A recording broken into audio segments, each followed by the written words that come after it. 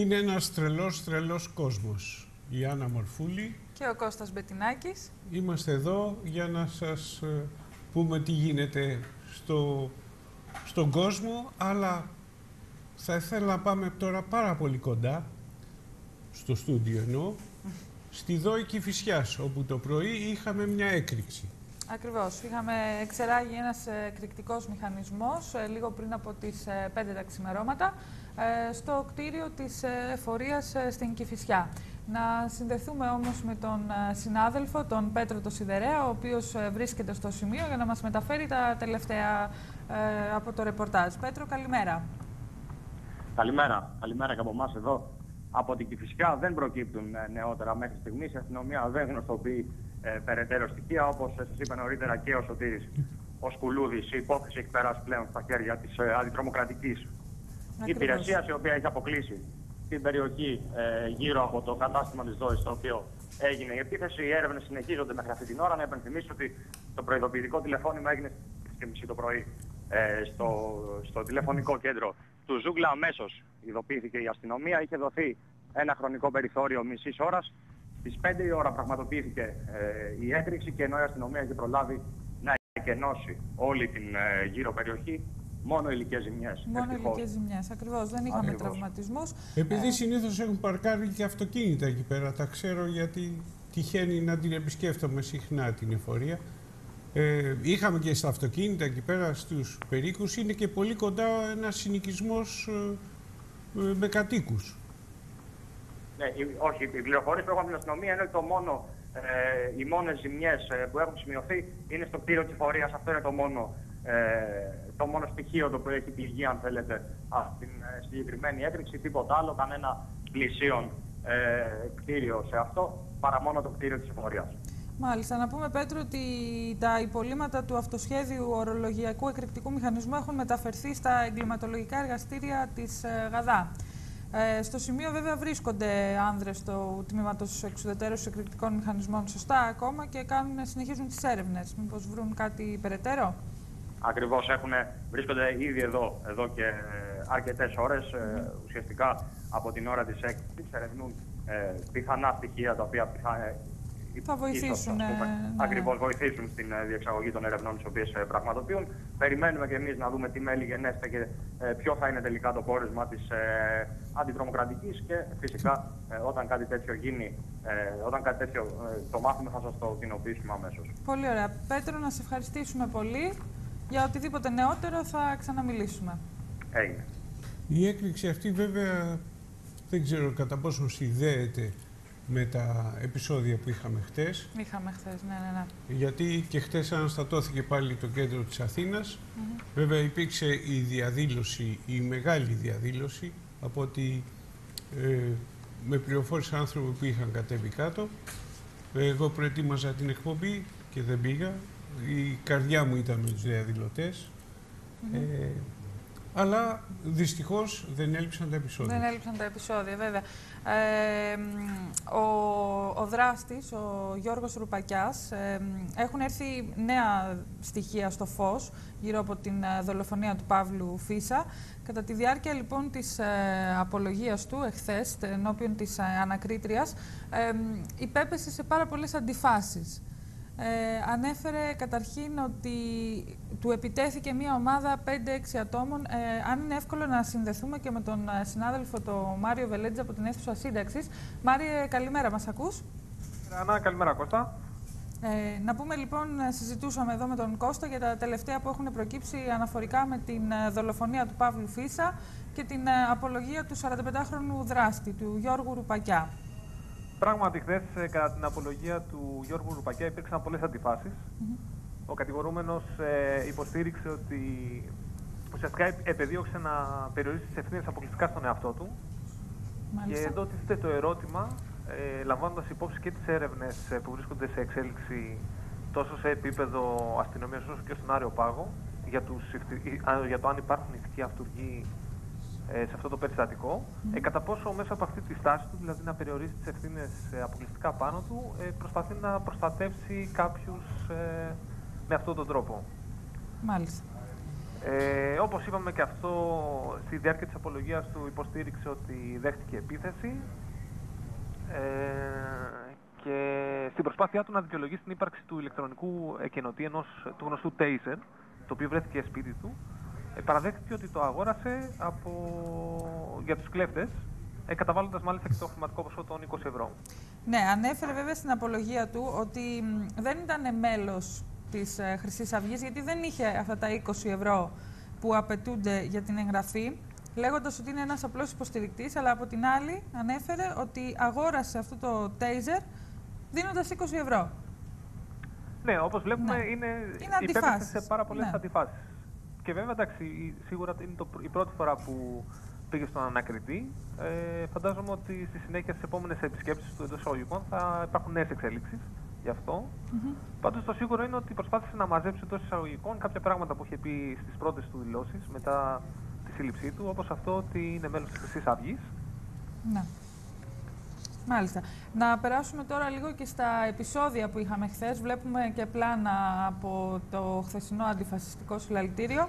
Τα Ε, επεισόδια που στάθηκαν αφορμή να είμαστε πάλι ε, στο BBC, Στο και BBC, στα ναι. ξένα δισογραφικά πρακτορία και στις τηλεοράσεις και στα δίκτυα ε, να προβάλλουν την ιστορία, να λένε, ε, να εκφράζουν τη λύπη για αυτά που τραβάει ο κόσμος ε, και ε, να δείχνουν πλέον και την αντι, αντιφασιστική στροφή που έχει πάρει ε, λες και έχουμε ξεχάσει τα άλλα οικονομικά μας προβλήματα. Βέβαια δεν λείπουν και μέσα στο εξωτερικό, ειδικά στην Ευρώπη και κυρίως από, το, από τη Βρετανία, τα οποία δίνουν έμφαση ειδικά και στο κλίμα που επικρατεί στην Ελλάδα. Δηλαδή, θυμάμαι χθες που βγήκε ένα δημοσίευμα του Guardian, το οποίο χαρακτήρισε τοξικό το περιβάλλον της Ελλάδας λόγω της παρουσίας της Χρυσής Αυγής, ενώ στο ίδιο άρθρο είχε ασχοληθεί και με την υπόθεση, με τις αντικαταστάσεις που είχαν γίνει στην Ελλάδα τις πρόσφατες και κατά πόσο ε, ομάδες ας πούμε, μέσα από τα σώματα ασφαλείας υποστηρίζουν ε, τη Χρυσή Αυγή. Σίγουρα πάντως ε, όλες αυτές οι καταστάσεις με τα επεισόδια, την πρόσφατη δολοφονία είναι, είναι πράγματα τα οποία απασχολούν την Ευρώπη και δίνουν ιδιαίτερη έμφαση σε αυτό. Ε, καθώς να μην ξεχνάμε ότι υπάρχουν πάρα πολλοί άνθρωποι, ειδικά στο χώρο ε, από το νότιο τμήμα της Ευρώπης, που συνδέουν την οικονομική κρίση με την άνοδο ε, της ρατσιστικής βίας και του φασισμού. μάλιστα. Τέλος πάντων, ε, όσον αφορά τώρα για τα επεισόδια, ε, ο κύριος όγκος τους ήταν στη συμβολή Μιχαλακοπούλου και Μεσογείων και είχαμε περίπου 63 νομίζω προσαγωγές ήταν. 62 προσαγωγές, 62 εκ των προσαγωγές. οποίων οι πέντε μετατράπηκαν σε συλλήψεις.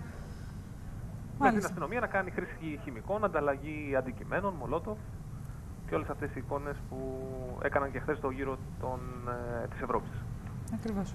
Ωραία, Μάρη, Το να σε- θέμα, ευχαριστούμε πολύ Ευχαριστούμε Μάρια. πολύ, Μάρια. καλά. Το, το θέμα που κυριαρχεί στον εσω- εσωτερικό χώρο πλέον και είναι ο αγώνας εναντίον ε, των νέων Ναζί Μμμ. ε, απασχολεί και τα διεθνή μέσα όπως είπαμε προηγουμένως εκτός από τις τηλεοράσεις ε, μια, ε, μου έκανε εντύπωση μια άποψη ενός ε, καθηγητή Γερμανού του Άξτ ε, από, που έκανε δηλώσεις Deutsche Welle και λέει ότι εγώ δεν θα απαγόρευα τη Χρυσή Αυγή. Θα μας Ακριβώς. πεις... ε, Βεβαίως, ε, ο Χάιντς Γιούργκεν Άξτ σε δηλώσεις του στη Deutsche Welle ανέφερε ότι η Χρυσή Αυγή και οι δραστηριότητες της δεν προβληματίζουν μόνο την ελληνική κοινωνία, ε, αλλά και τους ε, ξένους αναλυτές. Τον βλέπουμε εδώ τον κύριο Άξτ ε, σε- στη φωτογραφία. Είναι ομότιμος καθηγητής πολιτικής επιστήμης. Ο Γερμανός λοιπόν καθηγητής ε, διαπιστώνει όξυνση των κοινωνικών προβλημάτων στην Ελλάδα της κρίσης.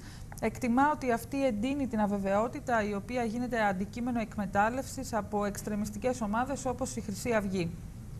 Ο Άξτ βλέπει παραλληλισμούς με την έξαρση του νεοναζιστικού φαινομένου στις περιοχές της Ανατολικής Γερμανίας μετά την επανένωση. Και εκεί πολλοί άνθρωποι που τότε βρέθηκαν σε δυσχερή κοινωνική κατάσταση αναζήτησαν διέξοδο σε εξτρεμιστικά σχήματα, σύμφωνα με όσα υποστηρίζει ο Γερμανός πολιτικός επιστήμονας. Ωστόσο, στην ε, περίπτωση της Ελλάδας, παραδέχεται και ο ίδιος ότι δεν περίμενε τέτοια έξαρση της ε, επιθετικότητας.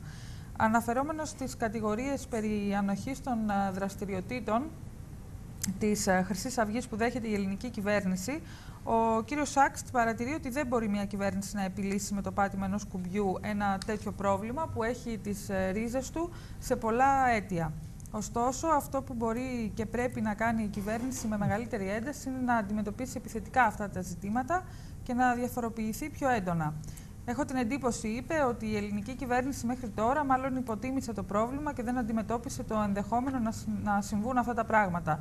Αναφερόμενος ε, φυσικά στη δολοφονία του Παύλου Φίσα. Η ελληνική κυβέρνηση καλείται να αναπτύξει ένα θετικό αντίβαρο και να δώσει στον κόσμο προοπτική, ακόμη και σε εκείνους που αναμένουν στήριξη από τους ακροδεξιούς. Ο κύριος Σάξτ γνωρίζει καλά από την σχετική γερμανική εμπειρία τον προβληματισμό για τον δέοντα τρόπο αντιμετώπισης ακροδεξιών και νεοναζιστικών οργανώσεων και κομμάτων. Πρόκειται για μια παλαιά συζήτηση, η οποία αναμφίβολα θα πρέπει να διεξαχθεί και νομίζω ότι είναι καλό τελικά που γίνεται αυτή η δημόσια συζήτηση στο Κοινοβούλιο και στα μέσα ενημέρωσης. Ε, υποστηρίζει ο καθηγητής και διευκρινίζει ότι το μειονέκτημα σε περίπτωση απαγόρευσης ενός ακροδεξιού κόμματος είναι ότι δεν μπορεί κανείς να απαγορεύσει τις νοοτροπίες και τις ε, διαθέσεις. Δεν μπορεί κανείς να απαγορεύσει σε εκείνους που τοποθετούνται στον ακροδεξιό χώρο να έχουν αυτές τις ιδέες. Για τον λόγο αυτό, όπως είπε, προτιμώ εκστρατείες διαφώτισης, πολιτικές εκστρατείες. Δεν θα προέβαινα σε απαγόρευση του κόμματος. Ανταυτού θα αντιπαρέθετα μια θετική προοπτική κόντρα στις υποσχέσεις των ακροδεξιών. Τέλος, ο Γερμανός πολιτικός επιστήμονας στάσεται υπέρ της αποφασιστικής αντιμετώπισης από την κυβέρνηση μιας ενδεχόμενης διείσδυσης των ακροδεξιών στους κόλπους της αστυνομίας και της δικαιοσύνης. Από το εσωτερικό αυτό πρόβλημα που μας έχει προκύψει, όχι τώρα τελευταία, αλλά τον τελευταίο καιρό και που δεν ξέρουμε πού θα οδηγήσει τελικά. Ε, εν πάση περιπτώσει η κυβέρνηση αποφάσισε να το αντιμετωπίσει ε, με τον ένα ή τον άλλο τρόπο, θα δούμε πώς. Ας πάμε στη, στα Ηνωμένα Έθνη, ε, το θέμα που απασχολεί τον κόσμο ολόκληρο. Οι ιστορικές στιγμές εκτιλήσονται στην έδρα του Ηνωμένων Εθνών, καθώς οι Υπουργοί Εξωτερικών των πέντε μόνιμων μελών του Συμβουλίου Ασφαλείας θα συναντηθούν σήμερα Πέμπτη με τον πρόεδρο του Ιράν, Χασάμ Ρουχανί, προκειμένου να συζητήσουν για το επίμαχο πυρηνικό πρόγραμμα της Τεχεράνης, το οποίο εδώ και χρόνια έχει προκαλέσει σοβαρούς τριγμούς στις διπλωματικές σχέσεις με τη Δύση και έχει απειλήσει και πολλά πράγματα. Ε, ε, έχει απειλήσει ακόμα και ε, στρατιωτική επέμβαση. Μάλιστα λένε ότι εδώ βλέπουμε τη συνέντευξη που έδωσε, ο πρόεδρος του Ιράν, ε, Ροχανή, στην ε, Αμαμπούρ στο CNN. Ε, αλλά πριν πάμε σε αυτή τη συνέντευξη, θα ήθελα να, να σταθούμε σε μία δήλωση του προηγούμενου μετριοπαθούς Προέδρου ε, του Ιράν, του Μοχάμετ Χαταμή, που ήταν πρόεδρος της Ισλαμικής Δημοκρατίας του Ιράν από το 1997 ως το 2005. Ε, ο, ο λόγος ε, του πρόεδρου Ρουχανή στα Ηνωμένα Έθνη μπορεί να θέσει σε κίνηση τη διπλωματία που πριν μια δεκαετία είχα πει, λέει ο εικονιζόμενος ε, Χαταμή, πως είναι το μόνο μονοπάτι για ένα καλύτερο κόσμο. Σε άρθρο του στην Guardian, ο Χαταμή ε, ε, ε, αναφέρεται την ίδια ώρα που ο Ρουχανή εκφωνούσε αυτό το λόγο που ε, θεωρείται ιστορική σημασία στη Γενική Συνέλευση του ΕΕ. Λέει ο Χαταμή λοιπόν μου ερχόταν στο νου η δική μου εμπειρία ως πρόεδρος της μεγάλης μας χώρας και οι προσπάθειές μου να προωθήσω το διάλογο στα κράτη με αντίθεση και εχθρότητα. Με δική μου πρόταση είχε ονομαστεί το 2001 από τον ΟΗΕ έτος διαλόγου ανάμεσα στους πολιτισμούς. Για να συνεχίσει ο Χαταμής στον Guardian, παρόλο που είχε ανταπόκριση από διεθνές κοινό, το μήνυμα του διαλόγου δεν κατόρθωσε να διεισδύσει σε αυτούς που εφαρμόζουν τις πολιτικές τόσο στη χώρα μου όσο και στο εξωτερικό. Στο σημείο αυτό, ε, ας μας επιτραπεί μια παρέμβαση και να πούμε ότι πάντα μετά από ανεπιτυχείς προσπάθειες μετριοπανθών εμφανίζονται οι σκληροί όπως ο προηγούμενος Ιρανός πρόεδρος Αχμαντίνετζάτ που περιέπλεξε με τις αδιάλακτες δηλώσεις του το διεθνές σκηνικό προκαλώντας ένα αληθινό άνθρωπο κυνηγητό από τα διεθνή μίντια. Γίνεται τώρα μια νέα προσπάθεια με τον νέο πρόεδρο του Ιράν, το μετριοπαθή Ρουχανί, να δούμε τι ανταπόκριση θα έχει από τους ιέρακες που κυριαρχούν στον τρελό τρελό κόσμο μας επειδή για να επιτύχει ο διάλογος πρέπει να γίνει χρήση της πολιτικής και της διπλωματίας και όχι της απειλής των όπλων. Λοιπόν, ε, εκτός μπορούμε να βλέπουμε τη συνέντευξη που έδωσε στο, στο CNN ο Ροχανή, αλλά εγώ απομόνωσα ορισμένες φράσεις από το, την Washington Post, όπου ε, του λένε το ερώτημα, του, ε, του βάζει ο δημοσιογράφος που έκανε το ερώτημα, ε, εάν έχει ε, την απόλυτη εξουσιοδότηση από τον ανώτερο ηγέτη του Ιράν, τον Αλή Χαμενέη, να διαπραγματευτεί το φάκελο το πυρηνικό του Ιράν.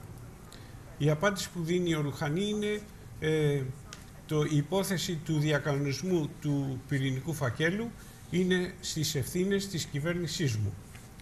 Ε, για το θέμα της ε, διαφάνειας και μάλιστα το, το ερώτημα είναι αν υπάρχει ε, ε, πλήρης διαφάνεια ε, για να επιτραπεί στους ε, παρατηρητές του, του, του, του, που θα πάνε να, να ερευνήσουν το πρόγραμμα αυτό, αν είναι πραγματικά, όπως λένε οι Ιρανοί, ε, ειρηνικό ε, και αν έχει πιθανόν στρατιωτικές διαστάσεις.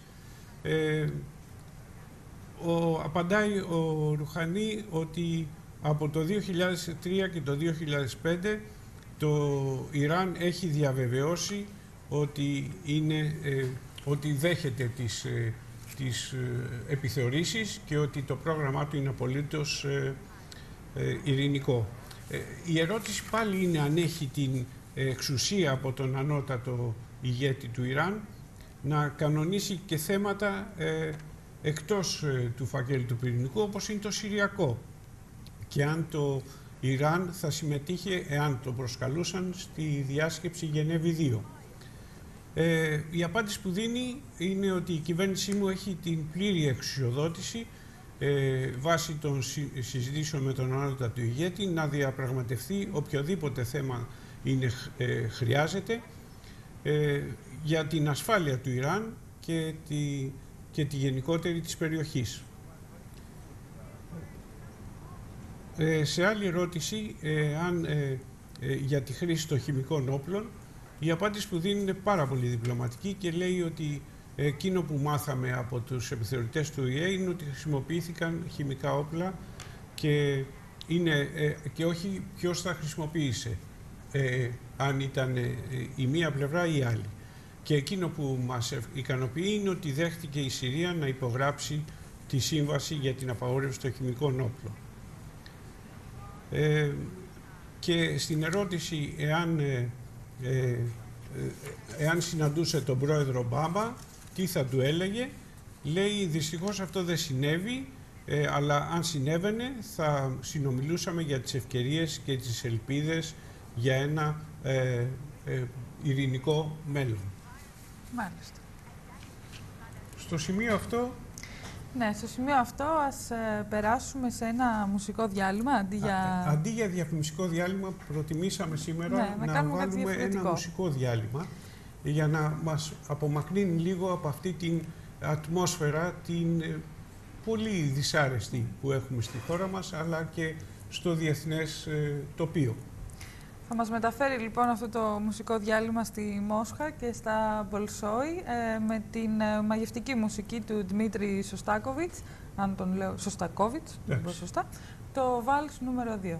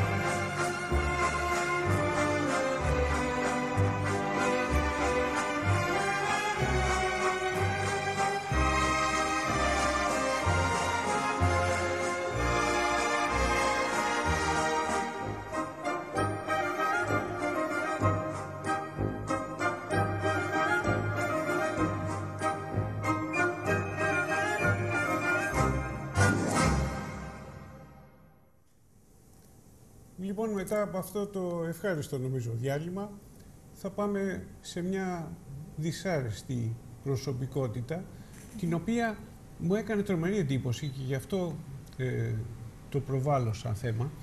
Ε, το είδα ε, ξαφνικά αυτή τη βδομάδα, τον είδα να εμφανίζεται η αφεντομουτσουνάρα του, να το πω έτσι, μιλάω για τον Χένρι Κίσιντζερ, να εμφανίζεται σε τρία-τέσσερα αμερικανικά τηλεοπτικά δίκτυα, τα οποία ζητούσαν τη γνώμη του για επί παντός επιστητού αυτή, στο διεθνές περιβάλλον. Λέει για τη Συρία, για το Ιράν, για τα πυρηνικά.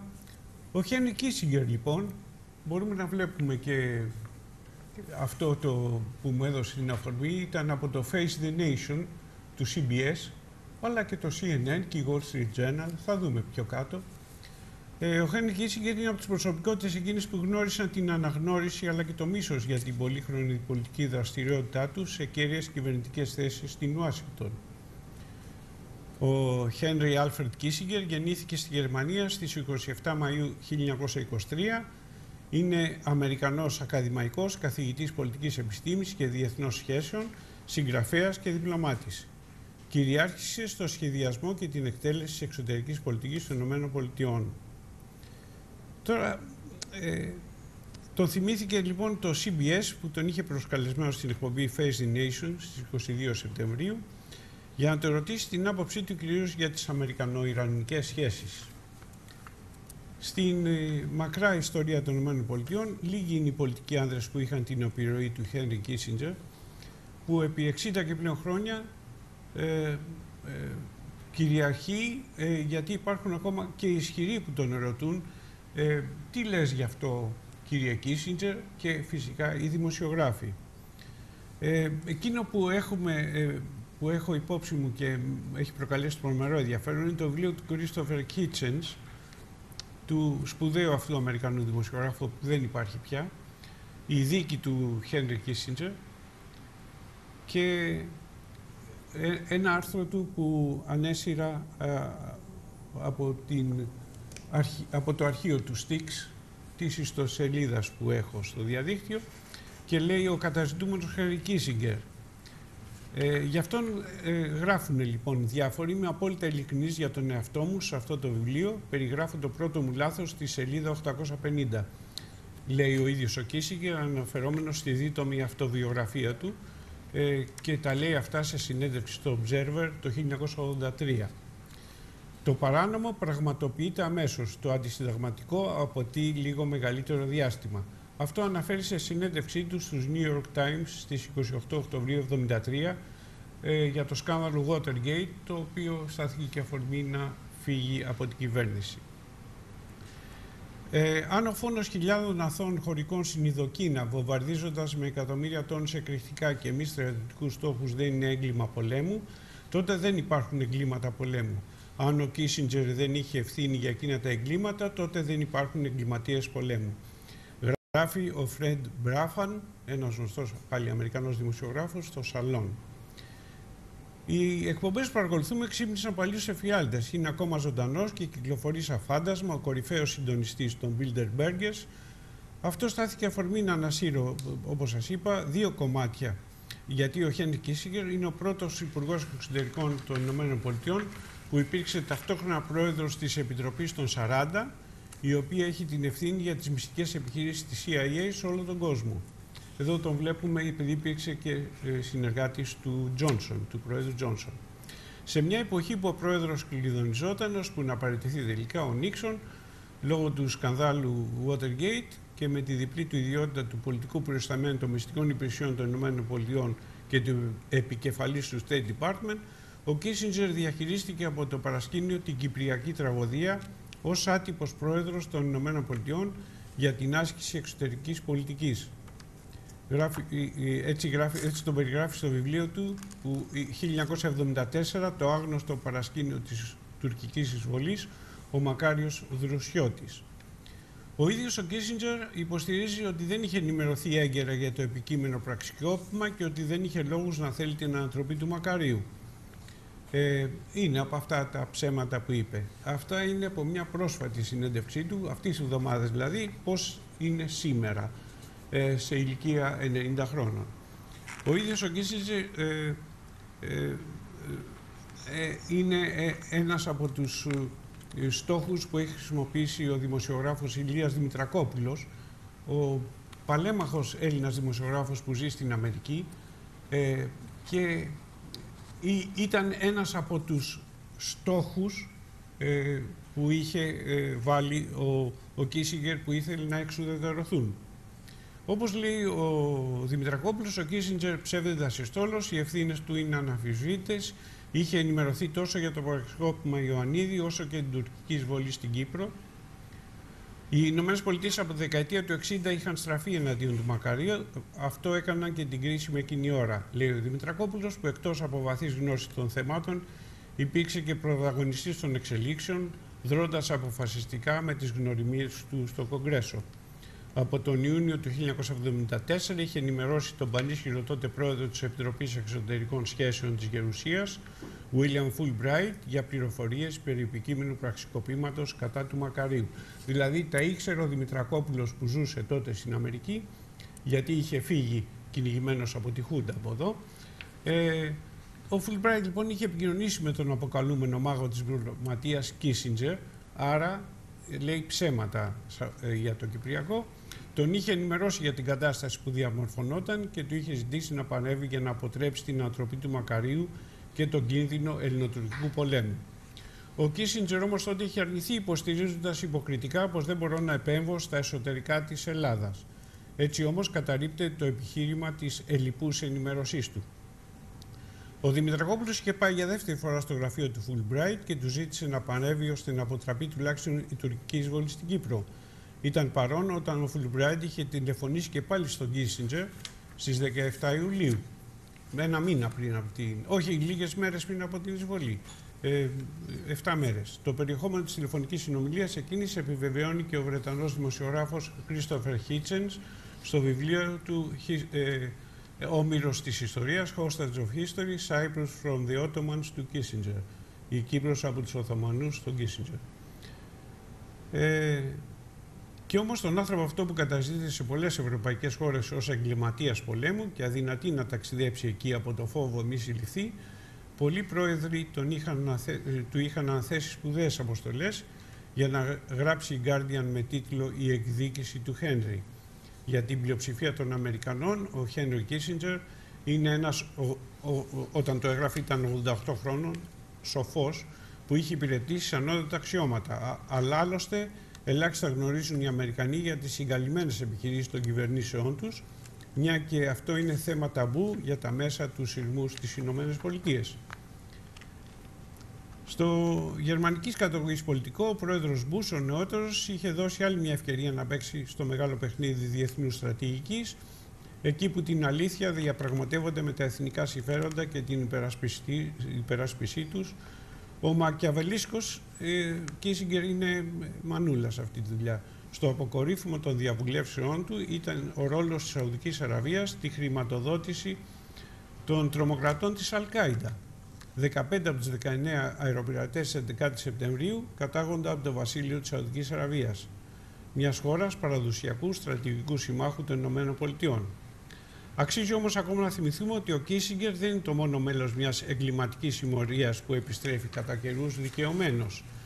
Όπως ε, έχω γράψει και σε άρθρα μου παλιότερα, ο ναύαρχος Poindexter, μία από τις πιο κεντρικές φιγούρες του σκανδάλου Ιράν Κόντρας της δεκαετίας του 80, δηλαδή χρησιμοποιούσαν ε, ε, χρήματα για, από το λαθρεμπόριο των Κόντρας για ε, να, για την επιχείρηση στο Ιράν οι Αμερικανοί, είχε διοριστεί από τον πρόεδρο Μπούς να οργανώσει μια από τις νέες μυστικές υπηρεσίες Μαμούθ του Αμερικανικού Πενταγώνου, που είναι εμπνευσμένες από το ύφος και το ήθος του μεγάλου αδελφού για να παρακολουθεί τα προσωπικά δεδομένα των πολιτών. Το σκοτεινό παρελθόν του Κίσιντζερ περιλαμβάνει πράξεις που προκάλεσαν δεινά στην Νοτιοανατολική Ασία, την Νότια Αμερική, την Νότια Ευρώπη. Θα ήθελα τώρα να θυμίσω, ε, επειδή ε, είναι πάρα πολλά, μερικές στιγμές από το εγκληματικό του έργο. Θα αναφερθώ στο Βιετνάμ.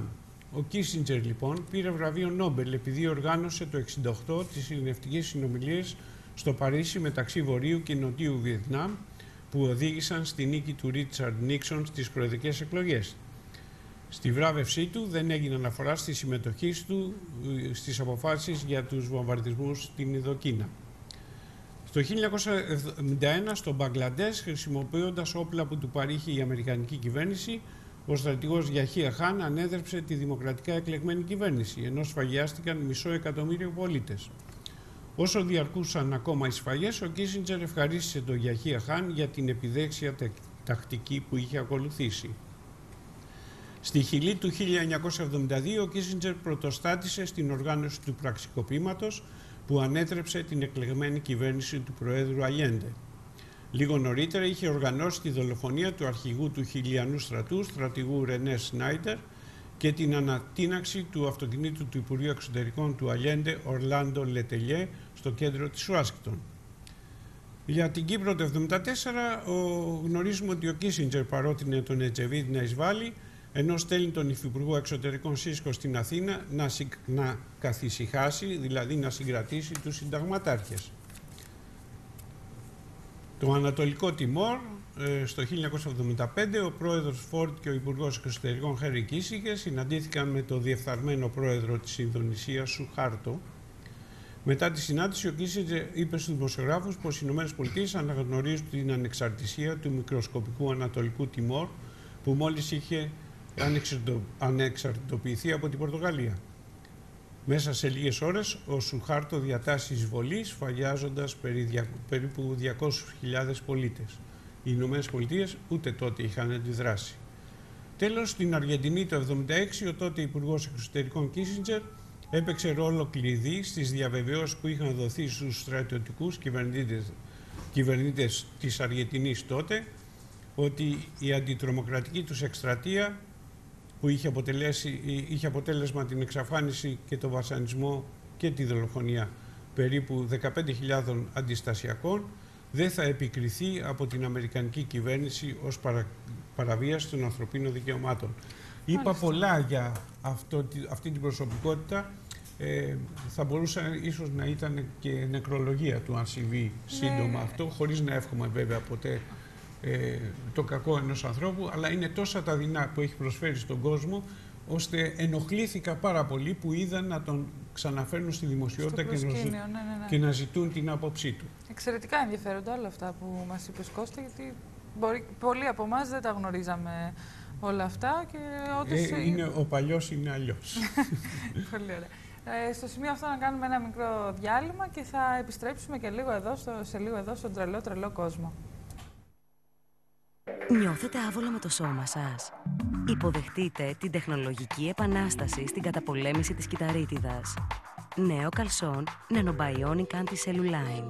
Μετατρέπει τη θερμική ενέργεια που εκπέμπει το ανθρώπινο σώμα σε άπο υπέρυθρες ακτίνες και τις επιστρέφει πίσω σε αυτό. Αποτέλεσμα, μείωση της εμφάνισης της κυταρίτιδας, λία και καλή γραμμή εμφάνιση. Αγαπήστε ξανά το σώμα σας με το νέο καλσόν Nanobionic Anti-Cellulline.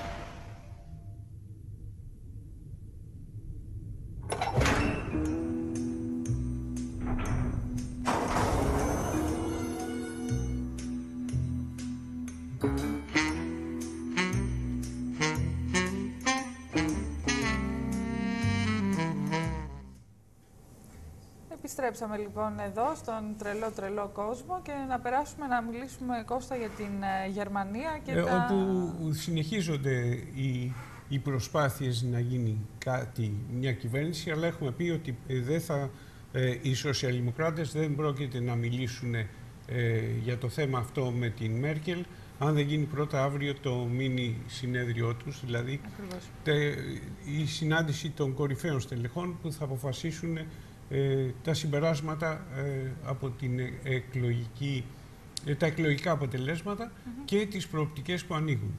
Να δούμε λοιπόν που θα καταλήξουν. Το μόνο σίγουρο είναι ότι παρά τις προεκλογικές διαβεβαιώσεις, οι αυξήσεις φόρων στην μετεκλογική Γερμανία είναι κάτι το οποίο έρχεται και περιμένει τους ε, Γερμανούς πολίτες. Οι διαπραγματεύσεις για την συγκρότηση κυβέρνησης συνασπισμού με το Σοσιαλδημοκρατικό Κόμμα, όπως είπαμε, δεν έχουν ξεκινήσει ακόμη, αλλά όλα δείχνουν ότι το Χριστιανοδημοκρατικό Κόμμα θα βάλει νερό στο κρασί του και θα αποδεχθεί όρους που για τους ε, σοσιαλδημοκράτες θεωρούνται προϋπόθεση για τη συμμετοχή τους σε μεγάλο συνασπισμό. Ήδη τα ανώτατα στελέχη των χριστιανοδημοκρατών προετοιμάζουν το έδαφος για το ενδεχόμενο φορολογικής αύξησης μία από τις βασικές προεκλογικές υποσχέσεις της Άγγελα Μέρκελ να τονίσουμε ότι ήταν ότι σε περίπτωση νίκης του κόμματός της δεν θα αυξανόταν η φορολογία. Τώρα όμως, υπό το βάρος των εξελίξεων, το ενδεχόμενο αυτό δεν αποκλείεται και σε εσωτερικές ζυμώσεις τελεχών του κόμματος με τον Γενικό Γραμματέα Χέρμαν Γκρέ, η αύξηση του ανώτατου φορολογικού συντελεστή παρουσιάζεται ως ένα αναγκαστικό ενδεχόμενο, όπως τουλάχιστον γράφει σήμερα η εφημερίδα Bild. Σε αντάλλαγμα το Τσεντεού φέρεται ότι θα, ότι θα ζητήσει από το S5 να μην μπλοκάρει στο Ομοσπονδιακό Συμβούλιο, στην Άνω Βουλή, νόμο με ευνοϊκότερες ρυθμίσεις για την υπαγωγή μισθού σε υψηλότερη φορολογική κλίμακα. Διάθεση για αναγκαστικό συμβιβασμό σε αυτό το πεδίο τουλάχιστον φαίνεται να διαθέτουν τόσο ο Υπουργός Οικονομικών της Γερμανίας, ο Wolfgang Schäuble, όσο και ο Αντιπρόεδρος του Τσεντεού, Άρμιν Λάσετ. Ε, να πούμε Κώστα ότι για πρώτη φορά το S5 δια του αντιπροέδρου του κόμματος Χουμπέρτους Χάιλ θέλει, θέτει συγκεκριμένους όρους. Σε συνέντευξή του παραθέτει ως βασικούς όρους τη θέσπιση δεσμευτικού για όλα τα επαγγέλματα κατώτατου μισθού, εξίσωση των ε, ομοφιλοφίλων, διπλή υπηκότητα, φρένο στην αύξηση των ενοικίων και αύξηση του ανώτατου φορολογικού συντελεστή. Οι οικονομικοί σύνδεσμοι προειδοποιούν τους ε, χριστιανοδημοκράτες να μην ενδώσουν στο αίτημα για αυξήσεις στην ε, φορολογία. Ο Γενικός Γραμματέας του Συνδέσμου Γερμανών Βιοτεχνών Σβάνεκε είπε στην εφημερίδα Bild ότι δεν επιτρέπεται να γίνει φορολογική πολιτική σε βάρος των μικρομεσαίων επιχειρήσεων. Ε, τέλος, ο, ο πρόεδρος των Γερμανικών Βιομηχανικών και Εμπορικών Επιμελητηρίων, Έρικ Σβάιτσερ, υπογράμμισε ότι το Τσεντεού στις διαπραγματεύσεις θα πρέπει να επικαλεστεί τη βούληση των ψηφοφόρων και να αποκλείσει κατηγορηματικά φορολογικές αυξήσεις. Αυτά. Ε, αυτά και από τη Γερμανία θα γυρίσουμε πάλι στο θέμα της ημέρας, mm των ημερών των τελευταίων, ε, γιατί η αιματηρή επιδρομή ενόπλων σε πολυκατάστημα στο Νερόμπι, στην Κένια, έχει προκαλέσει τεράστια συζήτηση παγκοσμίως για το θέμα της τρομοκρατίας και τοποθετείται εκ νέου στις πρώτες θέσεις επικαιρότητας. Είπαμε ότι την ευθύνη την έχει αναλάβει κάποια οργάνωση Al-Shabaab, για αυτήν έχουμε μιλήσει εκτεταμένα. Εκείνο που ε, θέλω να πούμε τώρα που τέλειωσε... Ακριβώς. Μπορούμε να πούμε λίγα λόγια ακόμη για... Τώρα που τέλειωσε αυτή η ιστορία. Ακριβώς, για αυτό το, το περιστατικό. Και μπορεί να μας δείχνει το φιλμάκι από το Λοιπόν, ε, βλέπουμε πλάνα. Εικόνες, πλάνα από την Al-Shabaab και τον τρόπο που εκπαιδεύεται. Σωστά. Τώρα λοιπόν που τελείωσε αυτή η τρομερή ιστορία, μπορούμε να πούμε ότι επρόκειτο ξεκάθαρα για τρομοκρατική επίθεση φανατικών εναντίον αθώων με στόχο να ακουστούν τα αιτήματά τους. Μια γνωστή μέθοδος που χρησιμοποιείται από το φανατικό εξτρεμιστικό Ισλάμ, παραβαίνοντας τον νόμο του προφήτη που απαγορεύει να αφαιρεί τη ζωή πιστών. Η βαρβαρότητα της ε, ομάδας των φανατικών ήταν πραγματικά σο, σοκαριστική. Ε, αλλά είναι σωστό να αντιμετωπίζονται ακόμα και παρόμοιες αποτρόπιες ενέργειες, όχι με αφορισμούς, αλλά με μια προσπάθεια να αποτραπούν τα οποιοδήποτε αίτια τις προκάλεσαν, ώστε να μην επαναληφθούν στο μέλλον, να μην βλέπουμε τέτοια γεγονότα. Ε, αν εξετάσουμε την ιστορία της Σομαλίας, είναι ξεκάθαρο να πούμε πως ε, συμβαίνουν πράγματα όπως ακριβώς στη Μέση Ανατολή, και το μεγαλύτερο μέρος της ε, Αφρικανικής Υπήρου. Παραμένει η μαύρη κληρονομιά του υπεριαλισμού να πλανάται στην περιοχή. Μπορεί οι δυνάμεις του ΟΗΕ να έχουν εγκαταλείψει τη Σομαλία από το 1995, αλλά από τότε στη χώρα μένεται ο εμφύλιος πόλεμος. Με φυσικά όλα τα επακόλουθα, βιαιότητες, πείνα και πολιτικό χάος κάτι που φυσικά ευνοεί την ανάπτυξη του ριζοσπαστικού Ισλάμ. Ιδιαίτερα από τότε που ξεκίνησε ο πόλεμος εναντίον της τρομοκρατίας που εξελίχθηκε σε νέα σταυροφορία εναντίον των ε, Ισλαμιστών. Την, ε, για την εισβολή της Αιθιοπίας εναντίον της Σομαλίας το 2006 με την παρουσία Αμερικανών στρατιωτικών συμβούλων να προωθούν τη στρατηγική τους και την Αμερικανική αεροπορία να στηρίζει τους ε, εισβολείς ακολούθησε μια κατοχή δύο χρόνων που στήχησε τη ζωή σε 16.000 ε, Σομαλούς πολίτες και εκατοντάδες χιλιάδες είχαν πάρει το δρόμο της προσφυγιάς. Η Σομαλία είχε οδηγηθεί για μία ακόμη φορά στο χάος. Η κατοχή από τα αιθιοπικά στρατεύματα δημιούργησε γενικότερη αναταραχή, πολιτικό χάος και έκανε πιο ριζοσπαστική την Al Shabaab, όπως είχε παραδεχθεί έκθεση του Αμερικανικού Συμβουλίου των ε, Διεθνών Σχέσεων. Το 2011 η Κένια χώρα που από καιρό παίζει το ρόλο, το ρόλο χωροφύλακα των δυτικών συμφερόντων με αφορμή απαγωγές ξένων στη Σομαλία, δικαιολόγησε την εισβολή κενιατικών στρατευμάτων. Ταυτόχρονα, νέες αεροπορικές επιδρομές από αμερικανικά μαχητικά ε, προκάλεσαν, είχαν ως αποτέλεσμα να αυξηθεί η λαϊκή συμπάθεια στην Al-Shabaab, ε, ώστε το 2010 να ελέγχει περιοχές πολύ μεγαλύτερες από οποιαδήποτε άλλη οργάνωση στον ε, κόσμο. Ε, να πούμε ότι όπως έγραψε στο Twitter της η Al Shabaab, η επίθεση στο Westgate, στο εμπορικό κέντρο, προκάλεσε μηδαμινές καταστροφές μπροστά σε εκείνες που είχαν υποστεί οι μουσουλμάνοι Σομαλοί στα χέρια των κενιατών κατακτητών. Είναι άλλο ένα μπερδεμένο κουβάρι στον τρελό τρελό κόσμο που ε, ζούμε. Όπως διαβάζω τώρα στο Reuters, ε, η κυβέρνηση της Κένια έχει διατάξει να γίνει ενδελεχής έρευνα για, για το πώς πραγματοποιήθηκε αυτή η επίθεση και ε, ε, τα στρατεύματα της Κένια ψάχνουν ακόμα μέσα στα ερήπια γιατί ναι. φοβούνται ότι υπάρχουν και άλλα θύματα ε, κρυμμένα. Από την κατάρρευση των ορόφων. Ναι. ναι. Ε, επειδή δεν θέλω να αφήνουμε ποτέ το Κυπριακό στην άκρη, παρόλο που Κατά καιρούς το έχω πει αυτό ότι μας λέγανε στις εφημερίδες ότι το Κυπριακό είναι ένα θέμα που δεν πουλάει. Ε, διαβάζω σήμερα στο Ποντίκι ότι ετοιμάζεται, δεν χρειάζεται να μας το πει βέβαια μόνο το Ποντίκι, αφορμή παίζω αυτό, ε, παίρνω από αυτό, ε, ετοιμάζεται κόλπο γκρόσο για την Κύπρο και στείνεται τετραμερής διάσκεψη για το Κυπριακό στη βάση μιας παραλλαγής του σχεδίου ΑΝΑΝ. Θυμίζουμε ότι το σχέδιο ΑΝΑΝ έχει καθίσει κόμπος στο λαιμό στους Τούρκους, στους Τουρκοκύπριους, τους Αμερικανούς, τους Βρετανούς, εκτός ίσως από τους Ελληνοκύπριους, αν δεν έχουν αλλάξει γνώμη, ε, γιατί όσους είχα συναντήσει τουλάχιστον εγώ και είχα κουβεντιάσει μαζί τους, ε, είχαν ε, ε, σαν πρότυπο τον Τάσο Παπαδόπουλο ε, που είχε αρνηθεί ε, το σχέδιο ΑΝΑΝ. Και ε, φυσικά ε, είχε απορριφθεί από τη μεγάλη πλειοψηφία των Κυπρίων. Την επιτάχυση μιας διαδικασίας συνομιλιών μεταξύ της Κυπριακής Δημοκρατίας του ψευδοκράτους, της Αθήνας και της Άγκυρας, συμφώνησαν στη συνάντησή τους την περασμένη Δευτέρα στη Νέα Υόρκη οι Υπουργοί Εξωτερικών Ελλάδος και Τουρκίας, επιβεβαιώνοντας όσα είχαν γραφτεί πριν από καιρό από πολλούς, από το Ποντίκι, από μένα και από άλλους που ασχολούνται ακόμα με αυτό το θέμα που δεν πουλάει. Ε, και που δεν πουλάει γιατί δεν μου αρέσει να μας πουλάνε, που λέω εγώ. Τότε στις 22 Ιουλίου ε, ε, ε, ε, ευλογάει τα γένια το Ποντίκι και λέει σε ρεπορτάζ με αφορμή την επίσκεψη του Αμερικανού Υπουργείου Οικονομικών στην Αθήνα ε, γράφαμε «Αναγνωρίζουμε τις δύσκολες αποφάσεις της Αθήνας», δήλωσε ο Αμερικανός Υπουργός Τζακ Λιού, και μετέφερε τη στήριξη των Ηνωμένων Πολιτειών στην κυβέρνηση. Ζητάνε όμως κάτι οι Αμερικανοί, για αυτή τη στήριξη απλώς είναι φιλέσπραχνη.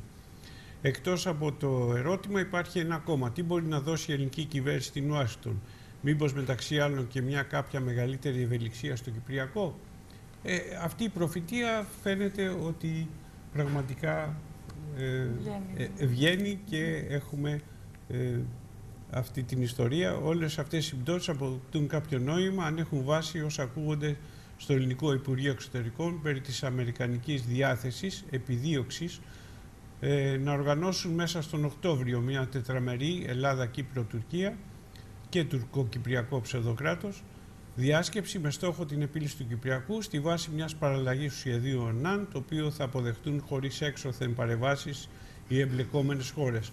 Και δεν νομίζω να τεθεί θέμα δημοψηφίσματος, γιατί πάντα τα δημοψηφίσματα έχουν κάποια ιστορία άλλη. Ναι. Ενδεχομένως, όπως εκτιμούν κάποιοι Έλληνες διπλωμάτες, η ιστορία αυτή να έχει προχωρήσει πολύ. Δηλαδή να έχει δοθεί η καταρχήν θετική ελληνική και κυπριακή απάντηση, καθώς και οι δύο χώρες λέγουν ότι ε, λόγω της άθλιας οικονομικής κατάστασης δυσκολεύονται να προφέρουν το όχι. Μάλιστα. Ε, τα είπαμε και χτες μετά τις συναντήσεις που είχε κάνει ο Υπουργός Εξωτερικών με τον Νταβούτογλου και ότι η ελληνική κυβέρνηση πλέον έχει υποχωρήσει σε πάρα πολλά θέματα όπως και στο θέμα φαίνεται ε, του κοσυφοπεδίου αλλά ο κόσμος είναι τρελός τρελός, τρελός, τρελός και πολύ. τα υπόλοιπα θα τα δούμε αύριο. Θα τα δούμε αύριο, 11 με 12 πάλι θα είμαστε εδώ μαζί σας. Να ευχαριστήσουμε φυσικά και σήμερα τον ε, Νίκο το Σακά και τον Ανέστη τον Κόνιαλη, οι οποίοι μας βοηθούν, όπως έχουμε πει, για να βγαίνουμε εδώ, να βγαίνουν όλα Την τεχνική πολύ μας ωραία. υποστήριξη. Ακριβώς. Καλό σας μεσημέρι. Γεια σας.